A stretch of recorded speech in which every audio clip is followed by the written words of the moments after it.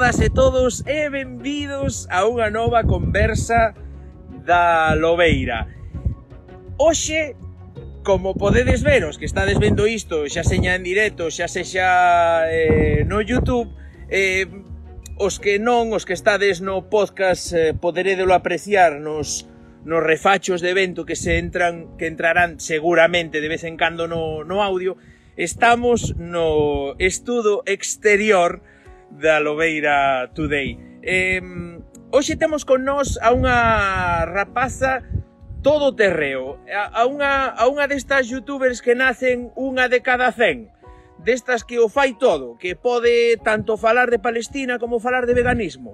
Pois hoxe temos a Adriana e imos xa pasar a convidala non sen antes, non sen antes un momento, vou ir saudando e lembrándovos que podedes pasar que podedes pasar por Twitch en galego eh, a firmar a petición para que poñan esa plataforma en galego. E se estades pensando en crear contido online, eh, en liña, xa seña para YouTube ou para Twitch ou mesmo en podcast, eh, pod, para podcast podes pasar por Pod Galego, pero tamén hai unha sección en Twitch en galego acerca diso, acerca de podcast. Eh, hai moitas axudas en liña, moitos recursos, material, etc. Só tedes que ter Discord, que é unha, unha pequena aplicación como a, como a o WhatsApp, unha cousa así un pouco máis complexo, eh, tedes vos que facer unha conta de Discord e con iso xa acceder ao servidor eh, de Twitch en galego. Eh, coñeceredes un mundo novo, aberto, de propostas, de colaboracións, etc. Imos xa Moi boas, benvida a Lobeira, Adriana. Hola. Que tal? Como estás? Un pouco nerviosa. Mira unha cosa, pois para romper un pouquiño eses nervos, vamos, eh, vouche facer as tres preguntas de rigor que estou facendo a todo o mundo esta tempada. Vale, primeiro, se che gustan os chícharos. Sí. Sí, eres de... Eres, non, non os apartas, non? Non ben, eh, segundo, eh, quero que me digas que prefires, se praia ou montaña? Montaña. Montaña, eres máis de montaña, non, non che gusta o mar logo? Sí, sí, gustame moito o mar, pero ahora mismo se me dan máis e prefiro ir a Prefires ir á montaña. E, por último, eh, que che, que che tira máis? A cidade ou unha poboación pequena? Unha Poboación pequena. Canto máis pequena, Canto máis pequena, mellor. entón, aquí estarías na gloria, vamos. Eh, mira unha cousa, de onde és ti, Adriana? De Rianxo. Rianxeira. Ben. Eh, quen é Adriana? Para que non te coñeza, Quen és? Pois son unha rapaza que mm, intento concienciar sobre distintos temas no seu, no seu canal de Youtube. Vale, eh, mira unha cousa, en que momento, en que momento decides eh, tomar ese báculo, no, tomar ese ese ese rol de concienciadora social? Pois chegou un momento da miña vida no que por unha enfermidade tuve bastante tempo libre, entonces decidí en facer un blog no que falaba sobre distintos temas, porque eu, eu solo queixarme de todo, entonces pois en facer eh, o blog para queixarme aí, e que a xente pudera ver. Entonces, un día fixen un vídeo en YouTube e dei conta de que aí a xente vía, vía máis, era un unha plataforma no, na que entón, pois decidín empezar a facer vídeos en Youtube e foi dende aí onde que comecei. O sea que foi por, por, por, por facer ese, ese, esa gran axuda psicolóxica que supón un blog, porque eu tive un blog tamén, e sei o que supón volcar toda a túa bilis nese blog, vale, quítalo de dentro entón quedas como máis apaciguado por dentro, verdade? Sí. Ben, eh, vin que tocas temas moi variopintos, tan variopintos como que podes falar de, da situación entre Israel e Palestina e tamén podes falar, como xa dixen na, na, no comezo, no? tamén podes falar de, de, de veganismo ou ou mesmo da situación do lobo ou do pouco que che gustan os cazadores. Coincido nese gusto contigo, ollo. Eh,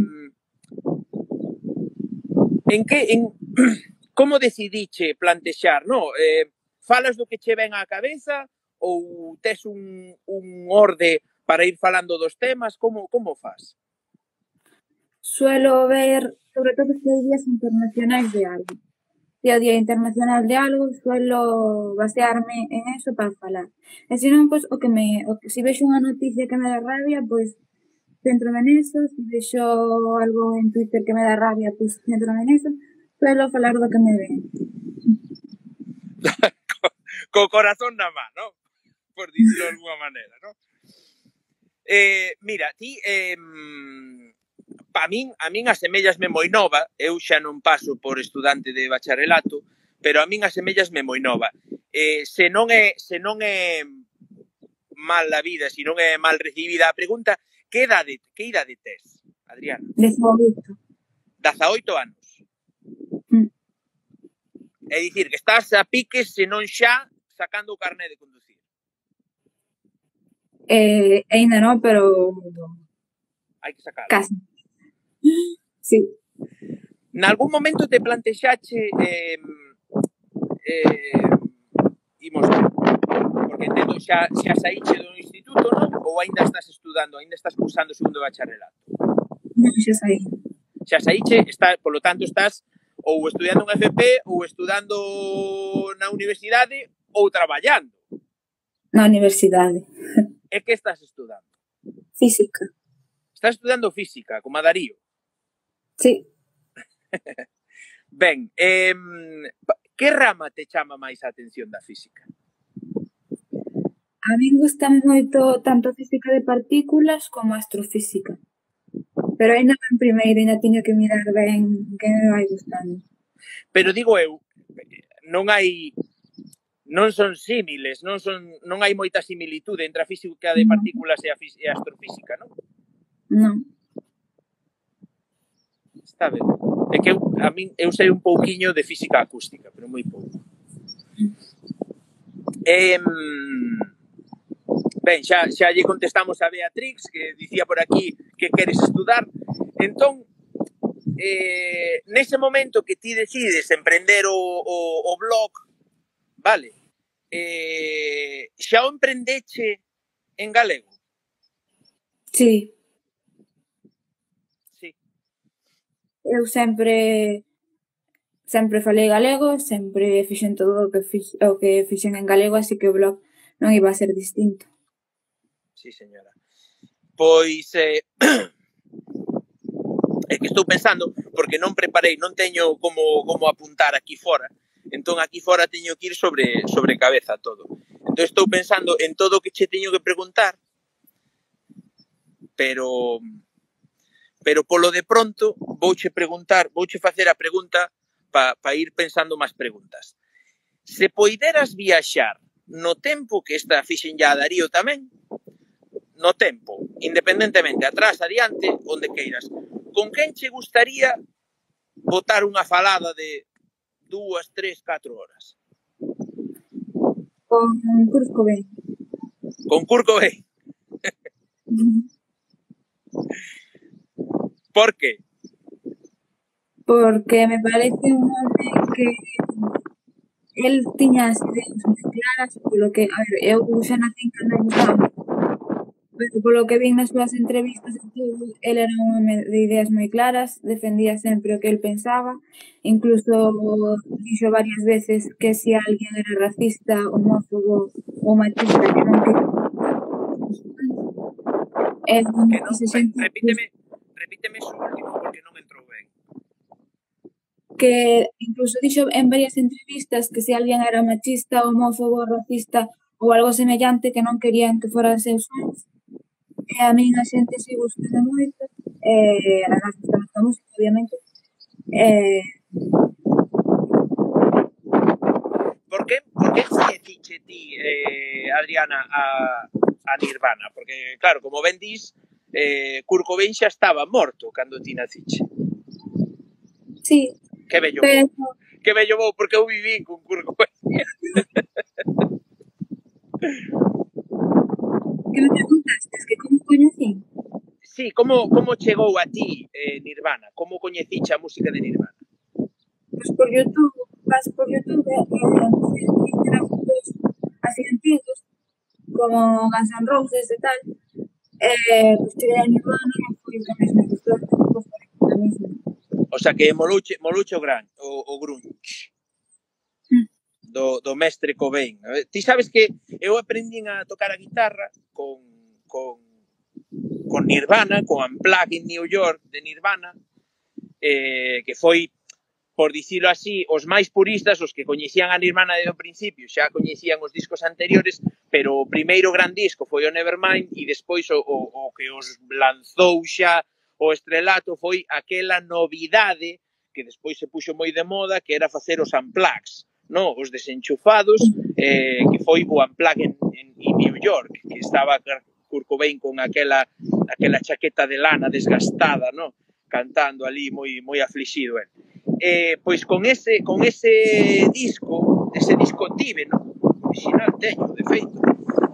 E, e con ese disco aprendín eu a tocar a, os primeiros acordes do do bueno, posteriormente dos Men Light and Spirit, que é a canción coa que unha das cancións coas que, coas que conquistei a miña Lucía, e, eh, e, eh, e fíxome graza ca, cal foi a primeira que aprendín? Espera. A de Come As You Are. Vale? E que era moi moi lentiña e tal, e ese punteo, os punteos de Nirvana eran moi sinxelos de, de sacar a guitarra e tal. Entón, con esas aprendín a tocar. Eh, bueno, ide, ide deixando os que estades por aquí no directo, xa no YouTube xa nada, xa pasouse vos o arroz, pero os que estades aquí en directo e de deixando algunha pregunta se queredes facela, eh, mira unha cousa, cantos vídeos tes agora mesmo publicados, Adriana? Pois non sei, terei 40 ou 50. 50 vídeos. Eh, en cal dos temas te sintes máis cómoda? No veganismo no, no tema do veganismo. Diche, por casualidade, sigues a Nuria Spasandí? Diche que sacou un, un novo vídeo, disque, da serie, desta serie que estaba facendo ela sobre o veganismo, que xa explica ao principio do vídeo que non sabe porque lle chama series, porque logo nos continúa, non? Pero diche o novo vídeo de Nuria. Vin mitad. sí, eso pasa moito. Eso pasa moito. Eh, ben, eh, eres, eres vegana por, por elección, é dicir, comías carne cando eras nena ou eres vegana de sempre? Me gana por el litro. É dicir, comías carne cando eras pequena. Eh, a que anos decidiche comezar a, a, a, a introducirte no veganismo? Aos 16 empecé a ser vegetariana e aos 16 Por que sempre se dá ese paso e non se entra directamente ao veganismo? Por que se dá ese paso de primeiro vegetariano e despois vegano? Porque sempre parece a xente pensa que será carne e non costa entón pois, pois deixo primeiro a carne e vou comendo os ovos e o leite e xa cando me acostumbre que non costa nada acostumbrarse pero o sea, ese pensamento de, de que te vai a gustar cando realmente non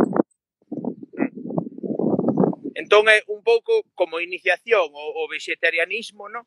que aclárame, ainda que eu eh, tiven a miña etapa vegetariana ou medio vegetariana, vale?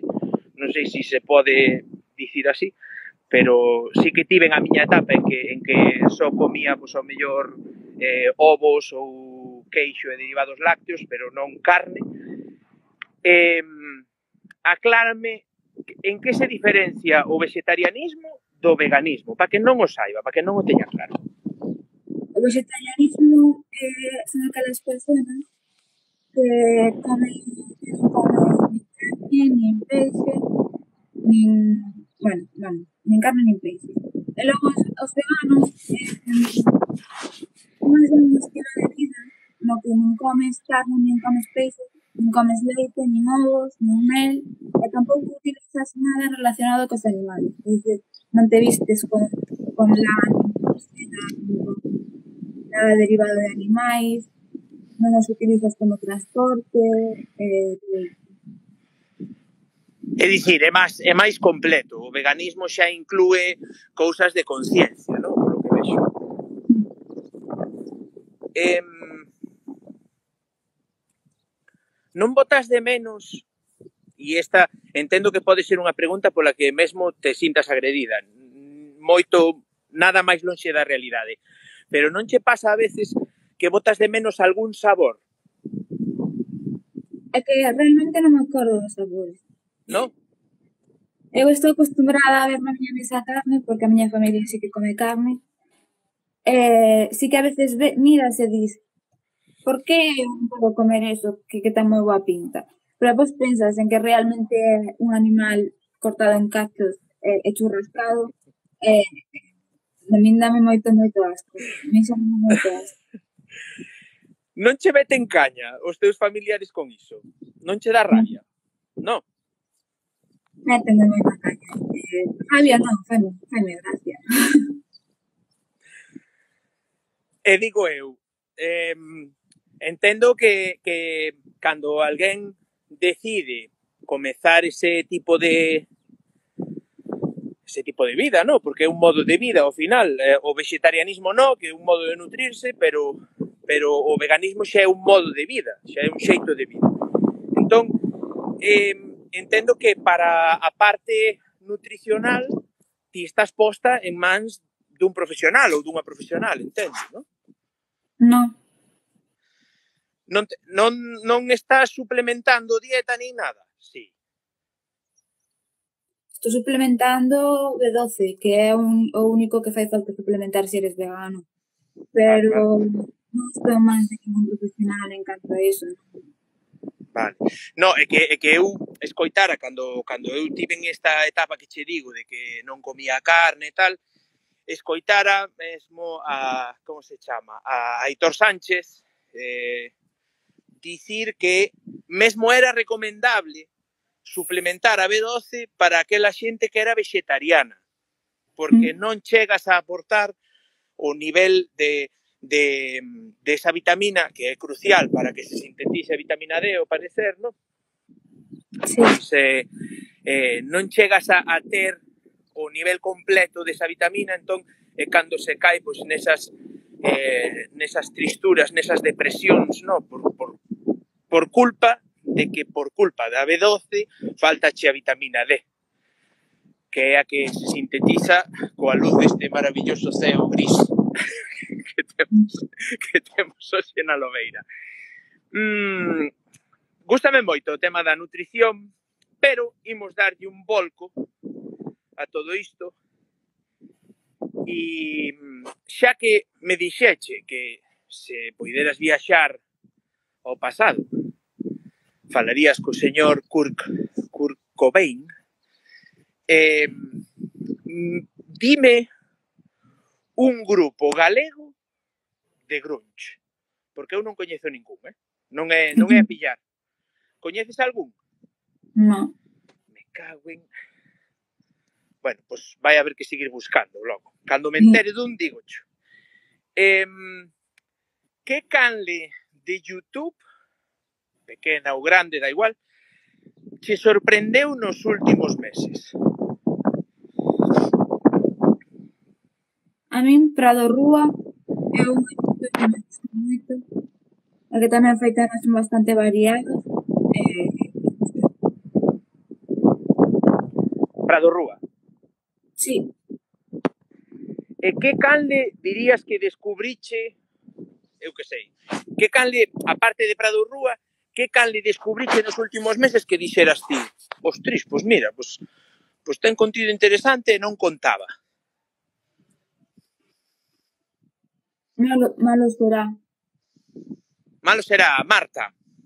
Sí. Marta, faremos faremos por tela por aquí a Marta tamén. Haberá que falar con Marta tamén botarlle unha parrafada con ela.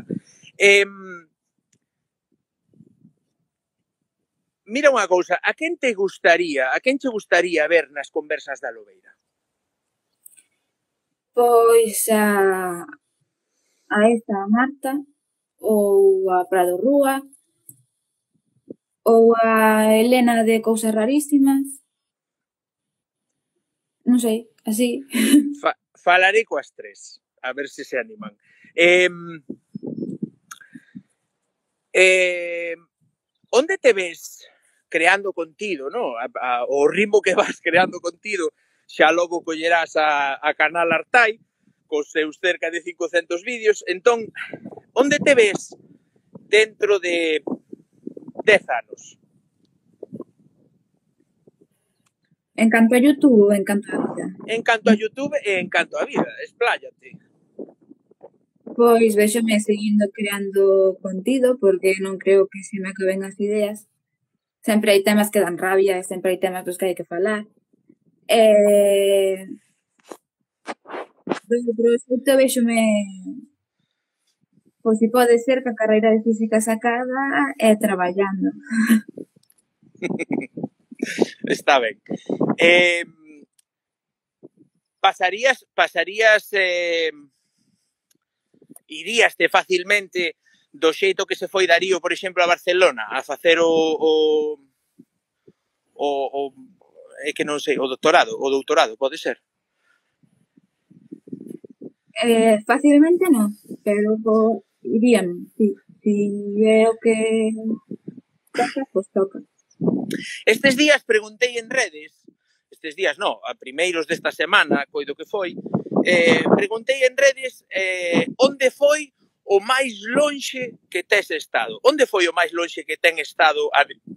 perdón, Adriana? En Italia. En Italia en onde? Non sei queda máis lonxe, pero estoy en Florencia, en Milán, e non me acordo. Na, na, eso é a...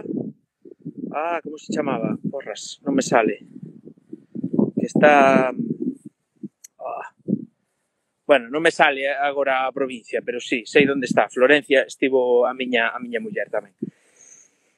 Mm. Adriana, Adriana. Estou pensando, eh? Estou pensando, non non porque tiña moitas máis preguntas.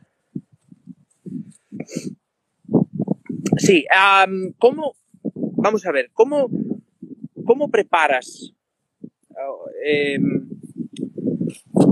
como ala vai así ala caeu como preparas eh, os temas? Levache moito tempo toda a escrita ou pos a cámara e daxe directo ou como faz non, leva tempo escribir. Eu escribo os temas como se si fose para, para o blog. Eu escribo todo, redacto e despois estudo máis ou menos e, e da compra e, e digo máis ou menos como me vai acordando escribo como se fose para subir despois ao blog que a veces fago e a veces non Continúas a escrita do blog? Intento, pero a veces olvidas.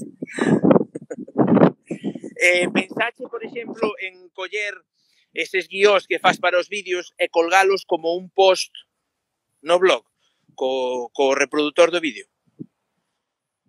Sí, pensei, no, eh, de feito subo os, os vídeos ao blog a veces.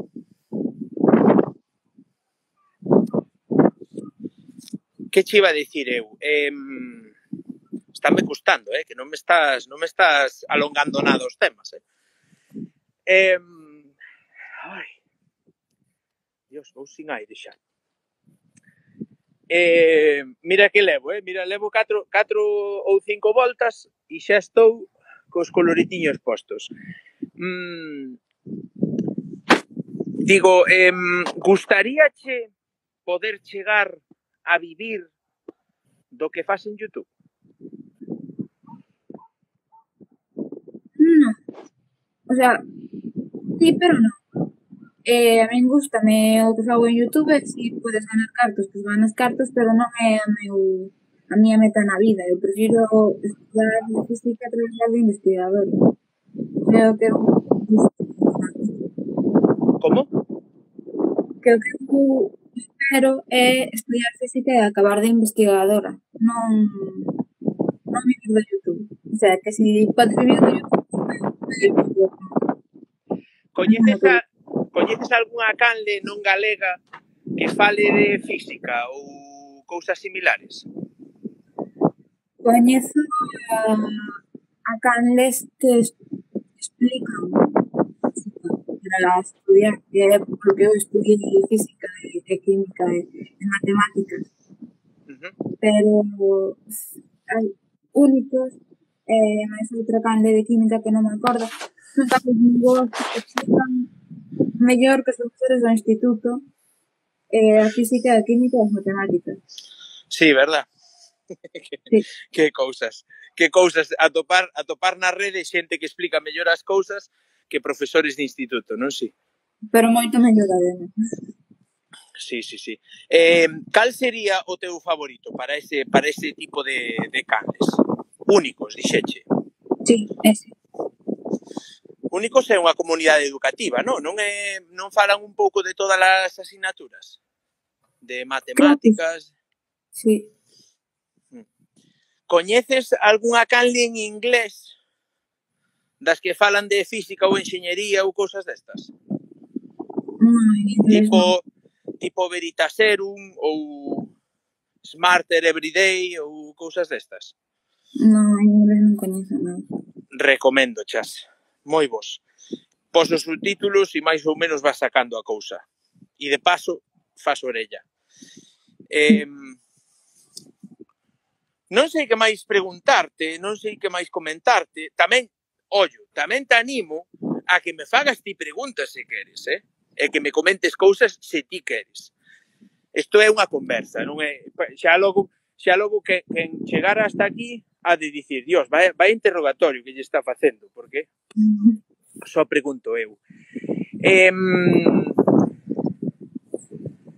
bueno, teño que avanzar, porque este onte e antonte estiven editando a, a nova lista, a lista que vai sair mañá, vale? Eh, momento autospam de Alobeira Today, mañá ás 4 da tarde, mañá domingo, os que estades no podcast ignorade este spam, xa tedes aí, xa podedes ir a vela. Eh, iso, domingo ás 4 da tarde, domingo 7 ás 4 da tarde, sai a nova lista, a lista que resume o acontecido no YouTube en galego en febreiro, no mes de febreiro, con data de peche do 28 de febreiro. Que flipei, porque eh, Galiza en pé, é unha das canles que máis medra, vale, é unha das canles que máis medrou, e flipei tamén con unha canle que entrará na lista directamente xa do mes que ven, e sen embargo, a data de peche tiña tiña 32 32 suscripcións tiña a data de peche, a 28, vale? E onte mirando 176. Ollo aí, eh? Cal será? Ah, ah. Saberémoslo o mes que ven. Ben, eh, vouche deixar agora, Adriana, un minuto máis ou menos para que spamees as túas redes, a túa canle, falese a xente que vexa isto, do que faz, eh, de por que se teñen que seguir e, e todo iso. Así que, dalle, o tempo é teu. Bueno, pois eu son Adriana Romero, de Galicia en Pé. Eh, unha, teño unha canal de YouTube na que falo sobre todos os temas que me apetece, sobre todo veganismo, antifascismo, eh, diferentes cousas que se me veñan á cabeza. Eu creo que se queredes ver unha canle variada que me podes E nas minhas redes sociais tamén Galiza en pé, pois estou bastante activa tamén. Entón, pois, tamén podes visitar.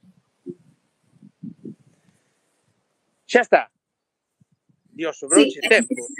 Sobrouche tempo, tía. Que capacidade de síntese. Eh, mira unha cousa, vin que escribiche un... O sea, escribiche non, que fixeche un vídeo, bueno, escribíchelo e despois fixeche o vídeo sobre a, a caza do lobo, sobre o tema do lobo. Que opinas diso? A parte do que dixeche no vídeo. É dicir, non che vou dicir agora que vin o vídeo porque non o vin, pero vin que sacache o vídeo e teño pendentes como 10.000 vídeos máis. Porque se non sabía diso unha cousa, vou vos contar algo, eh, dende o mes pasado, dende finais de xaneiro, a Lobeira Today, a Canle, a Lobeira Today, só sigue Canles en galego. É dicir, sigue a todas as canles que entran en lista das 50 do YouTube, máis as posibles canles que poden entrar, máis as canles que van saindo nas listas temáticas de Alobeira Today. É dicir, por que fago isto? Porque se todos fixéramos isto, eu, so, eu, creo, eu creo na xente, entón, se todos fixéramos iso, nas nosas canles en galego, seguíramos eh, bueno, digo nas nosas canles en galego como se tivéramos canles en castelán. Nas mm. nosas canles seguíramos a canles en galego, o YouTube en galego medraría.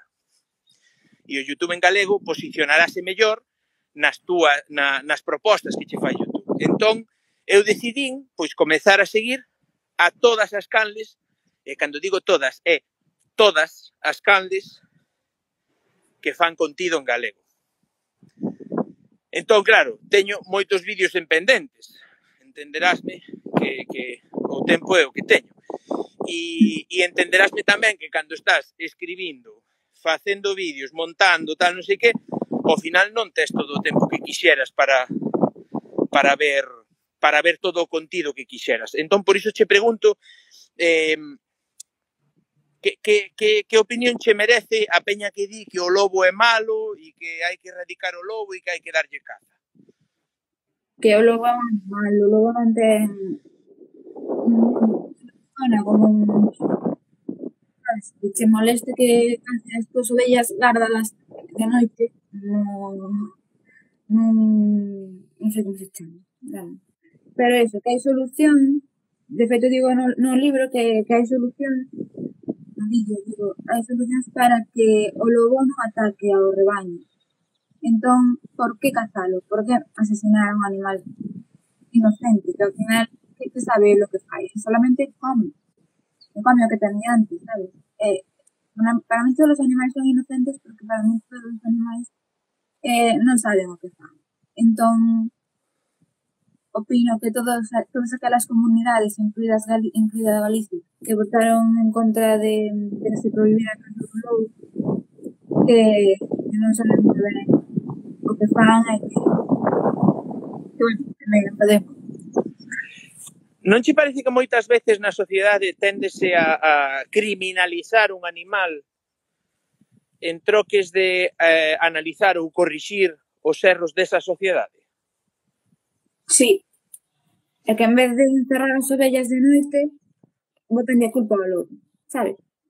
Ou en vez de poñerlle máis vigilancia, botanlle a culpa ao lobo. Non, non funciona así. Hmm. O lobo non, non, non sabe que isto non pode comer, eh? ten as súas necesidades.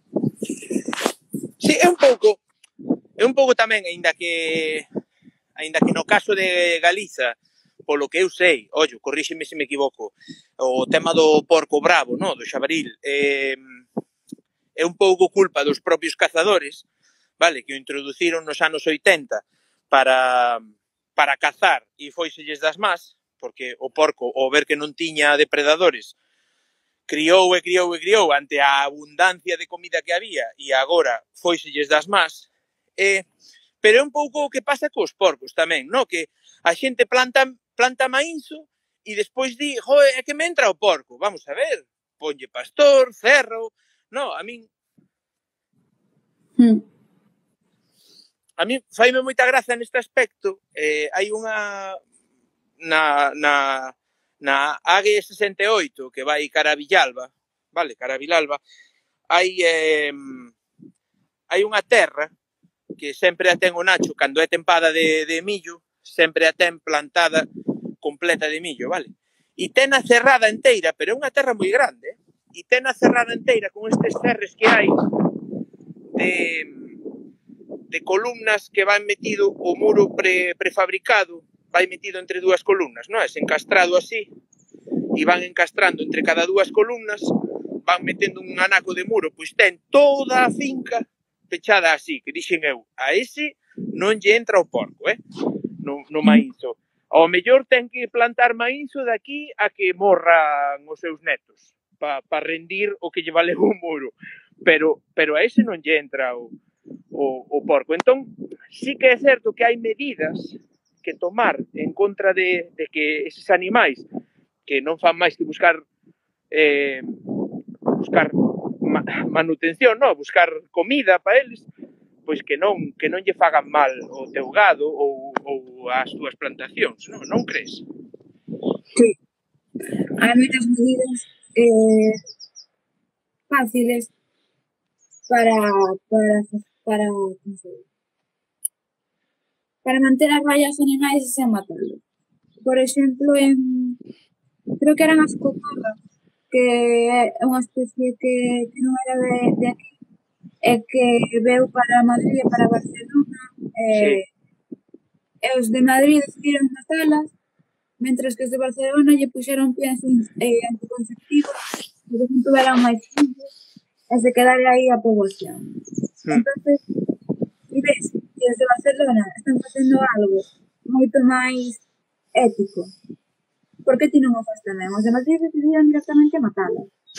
Ollo, moito máis ético e moito máis efectivo, porque ao final, se si a especie, como especie, non, eu penso, eh, se o bicho ve que está sendo aniquilado, nas seguintes procreacións vai procrear máis, vai ser máis propenso, eh, pasa un pouco isto cos ratos, non?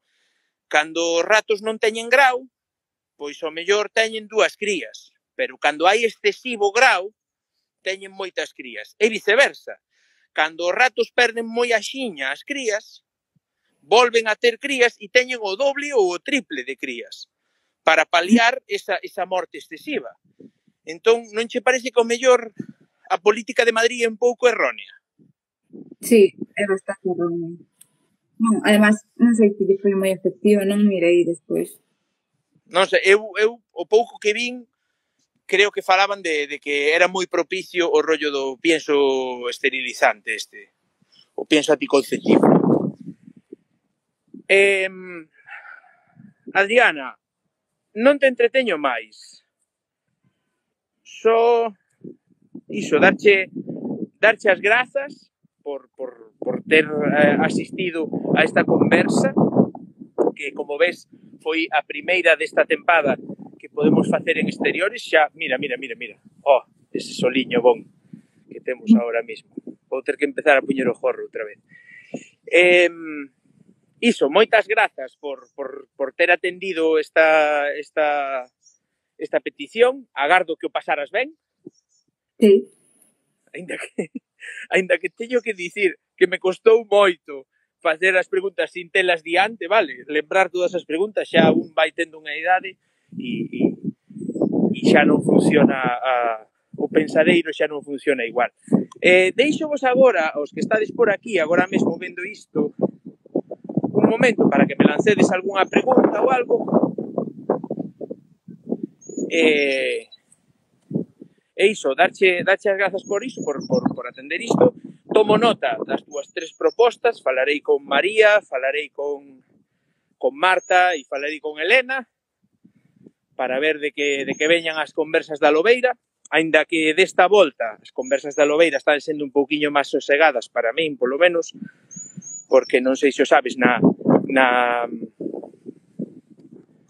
como se di, na, na tempada anterior eran a unha diaria, pero ese ritmo non hai non hai non hai persoa que aguante ese ritmo durante moito tempo.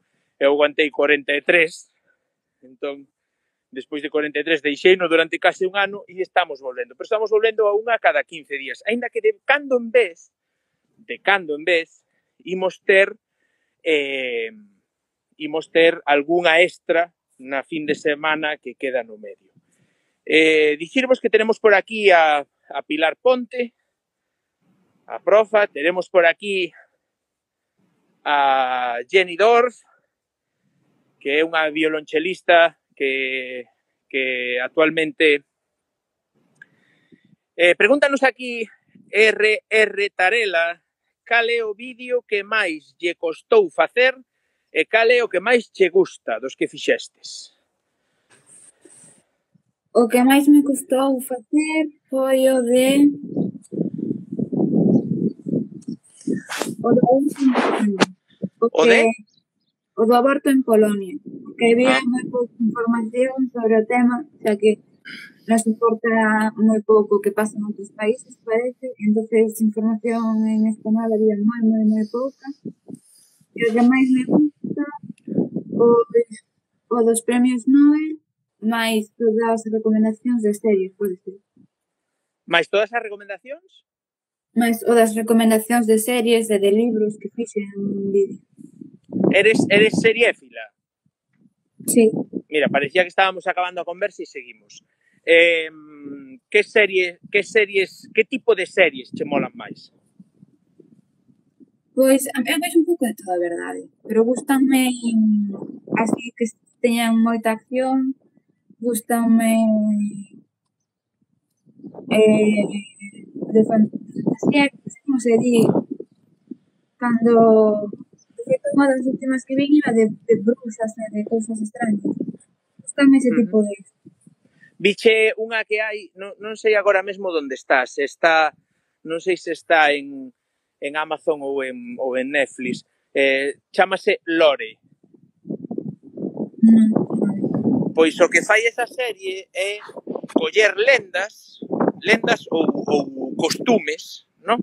Eh, pois costumes funerarias ou, ou lendas dun becho que había nun sitio que comía xente, etc, etc, e traiche a suposta realidade desa lenda. Está so, sobre todo a primeira tempada está moi guai. Coido que era en Amazon Prime. Lore, titulas así, Lore. Busca, si, si tes como, busca e, e vai che molar. Se che mola o rollo de bruxas e cousas destas, está moi ben, a de Lore. A segunda tempada xa é un pouco máis eh, non sei, máis guionizada, non non vai tanto sobre sobre cousas desas, non, pero a primeira tempada está moi guai porque sempre empeza coa lenda e logo empeza a abrir o rollo a, o, o que supostamente pasou, non, para que acabara sendo a lenda que que Bueno, agora sí. Eh, Adriana, moitas grazas por, por vir a Lobeira. De nada. Eh, agardo iso, de novo, agardo que o pasases ben, que che gustara a conversa. Sí, sí. E, e nada máis, a todos vós, darvos as grazas tamén por ter eh, estado de novo por aquí, por ter comentado, por ter preguntado, e como sempre digo, vémonos noutra e apertas. Música